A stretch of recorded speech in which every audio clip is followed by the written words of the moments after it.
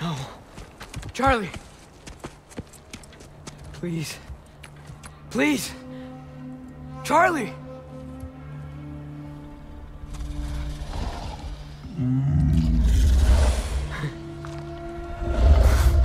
hey, big guy. I'm here now. Don't you worry. I need to get you warm. To stand to let me into that house. Think you can do that? Come on, Chaurli. You have to do this. I... I can't help if you don't... Emily! Emily!